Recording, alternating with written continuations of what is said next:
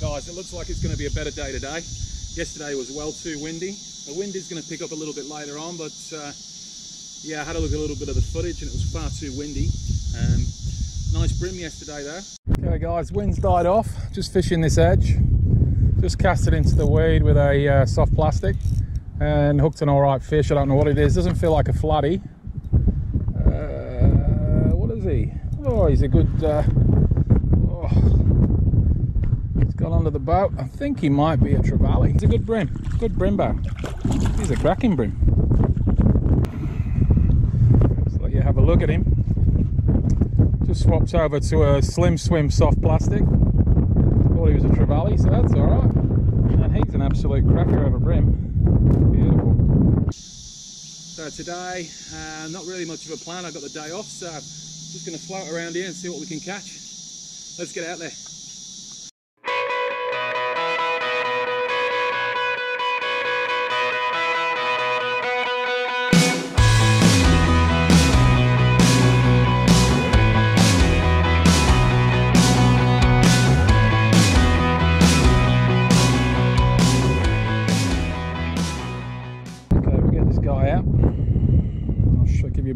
Look at him.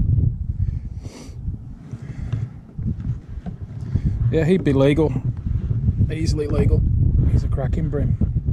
It's just on that slim swim there. Z-Man slim swim back in. There you go, mate.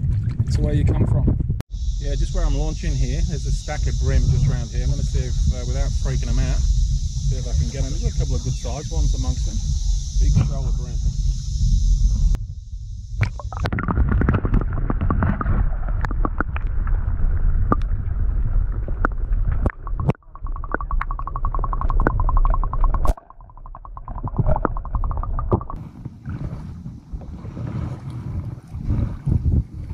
what I'm doing at the moment, guys, is just uh, I've got one rod out uh, with a lively lure on it, a pink lively lure. If you can see here, we've got a, a sandbank here. Okay, and what I want to do is go around in the back of that sandbank because I've got a feeling that there'll be fish sat behind that sandbank just waiting for a feed. The tide's starting to slowly run in now and it's being run out. So I reckon that the, there'll be fish sat in behind it um, because they've already been, the tide's already been running this way out. So it's been running running out um, running over these flats and now it's turned the tide. So I'm thinking that they'll still be sat in that in the deeper water there in amongst all this weed. A lot of weed just over here. Um, you don't have to um, swim these lures very quickly just nice and easy. Leisurely pace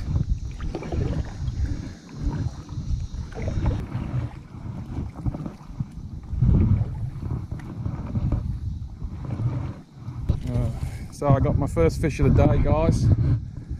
There's a uh, nice floody, good legal flathead. Uh, got to be really careful because I've only got light leader, so I've just got to tire him out. As soon as I touch him with this, it's going to be a nightmare. I wonder if I can get him with my glove. And he'll be getting nice and strong now. He's in that current. So, so as soon as I put him in this small net, he's, uh, he's going to go mental loosen that drag off a little bit, keep that tension on him. Because you end up with trebles in your hand, it's not good. It spoils your day. And like I say, I've only got six pound leader on here, so I'm just going to slowly bring him across. This is where we could lose him. I'll try the net first up.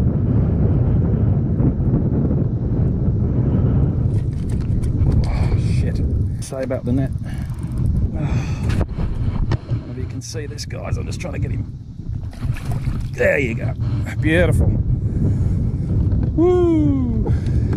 Now that's a nice flathead. I'll just try and get myself out the wind with my back to the wind. There you go. Look at that guy. That's a beautiful flathead.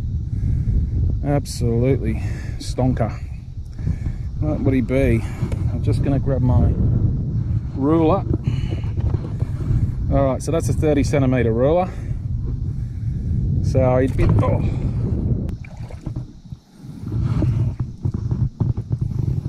Got me with the gill rakers. Yeah, he wanted that lure good and proper, didn't he? If he shakes his head again, I'm going to cop these in the head, in my hands. So, as usual, I've come unprepared. Right. Let's see if we can go and paddle across the way to the uh, to the beach. I got blood all over my boat, and it's not the flathead blood. it happens. Well guys, I'm going to put this flathead back.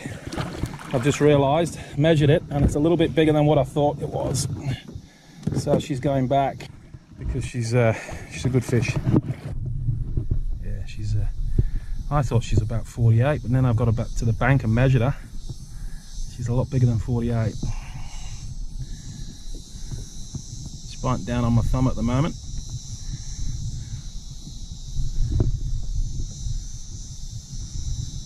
Come on. Come on, big girl.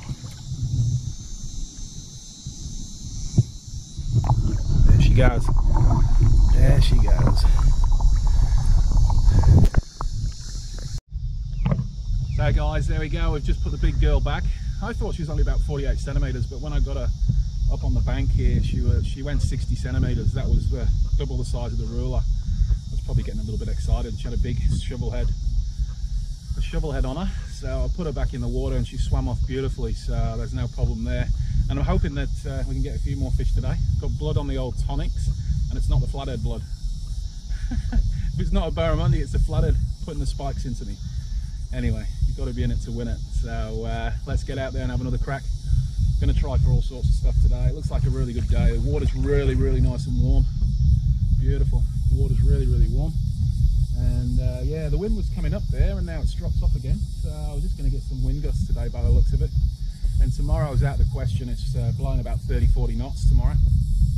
So um, let's get back out there and, and give it a crack, eh? Got a few soft plastics with me also, I've got some poppers. I might even try and head up onto the flats and see if I can get a whiting on a popper. Um, but that's just made my day already. I've only been out two minutes. Better give the old tonics a bit of a clean off. A little bit of blood on that. So I'm just basically working a, a sandy uh, edge you can see out there. And um, just where I got that flooded was in a weedy edge that I've fished before. I've caught plenty of flooded on that corner. Um, a lot smaller than that one there. So it's good to see a few big girls around the system. Uh, there's a lot of prawns in the river at the moment, so I'm hoping with the um, with the poppers I can have a crack for some bream or some uh, whiting on poppers a little bit later on. We'll see how we go. Yep. Oh, nice fish. What's this? Oh. So I'm just drifted at the moment. I don't know what he is.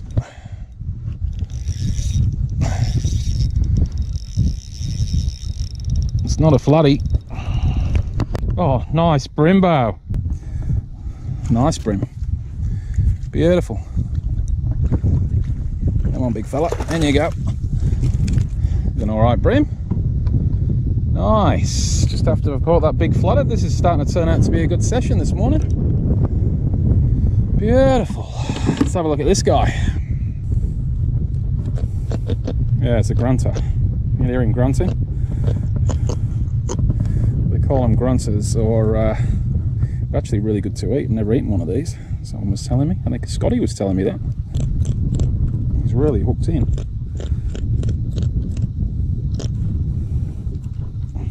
There you go. It's not a bream. Misid'd him. That's a. Uh, they call him a grunter. Uh, meant to be absolutely beautiful to eat. This guy's going to go back, but um, well, that was fun. Just on that um, Slim Swim Z-Man, and I got him uh, just on the top of the water as the as the Slim Swim was coming towards the boat. Now we'll get him back in the water. There you go, buddy. Uh, just a matter of uh, paddling up to this edge here. Got the wind in my face at the moment, so I'm just going to use the wind. Tide's still running in, so it's a nice slow drift with the wind. And the tide's pushing against me a little bit. And uh, yeah, just flick your soft plastics in front of your kayak. So I'll just spin around now and I'll just demonstrate it. So I've got the wind behind me. Spin around. And then we've got all like little weed weed uh, clumps all the way through here and that's where the floodies like to be and any other fish. And then just straight out cast it straight out. Drop it down.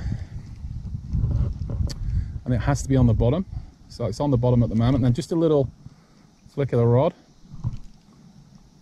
Now you can do a slow roll as well.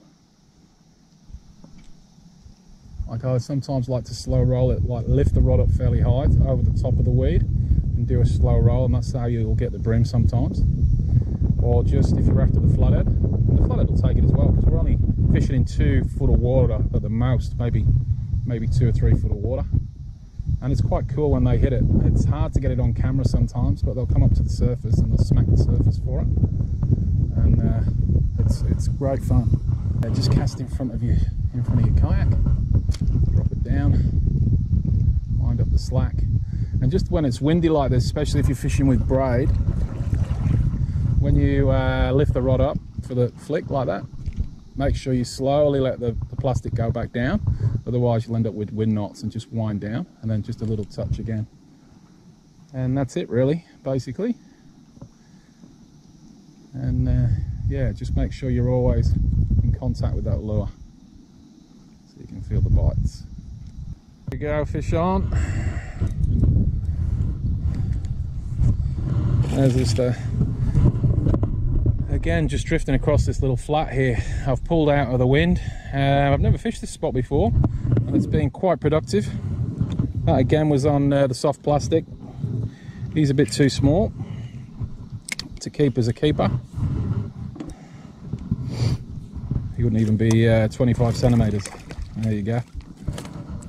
These are the ones that do all the damage on your feet and everything especially when you're in the kayak it's always challenging when you're in the kayak at least I'm out of that wind and you can hear hear me for a change. What can you do? You can't do much about the weather.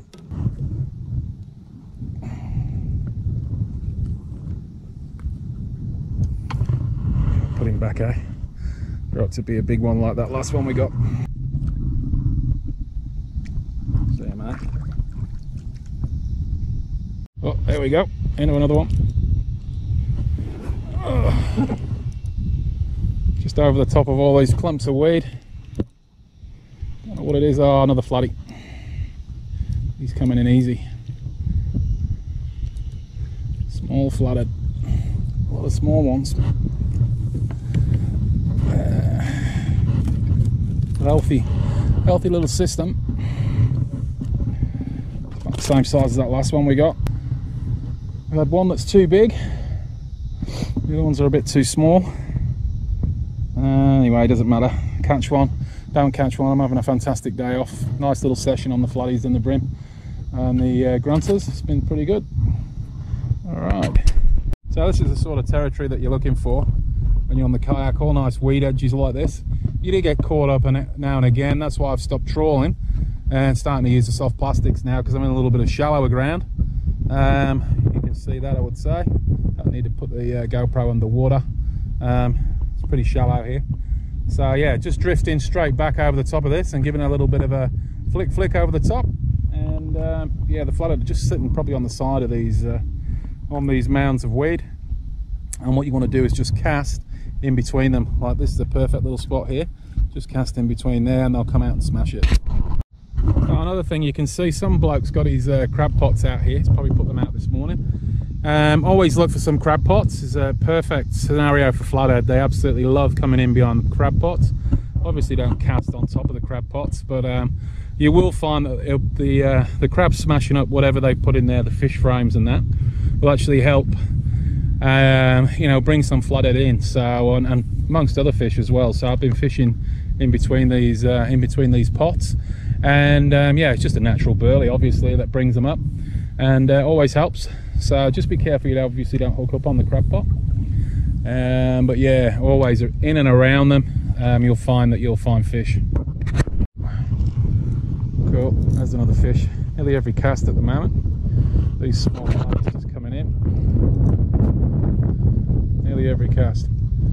Stacks of them around here. All in this same area around them crab pots. These are all babies little babies still bit of fun Uh, just the tide's just coming up now, so it's the last of the run up. Um, so I'm thinking that the fish are coming up onto these little weed beds here, just uh, waiting for that tide to turn. Uh, that tide will turn around about 12 today. I'm not too sure what time it is at the moment. Howdy guys. This one's not quite legal either. Bye. That's good. The plastic's fallen out.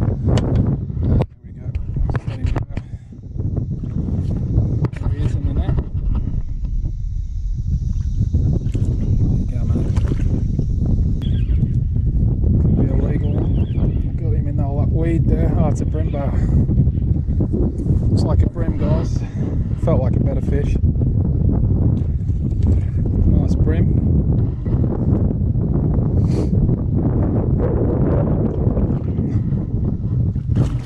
There you go. Nice brimbow. There we go. Nice release in the water. Gone. Oh guys, I hope you enjoyed that clip. Uh, we'll look forward to seeing you again next Friday at Hook and the Cook. Hopefully this one will be out before Christmas. Uh, I wish you all Merry Christmas. I'd like to thank all our sponsors and all our friends and everybody out there watching the clips. And we'll see you in 2020. Cheers, guys. We'd like to give a big thank you to all our sponsors for 2019.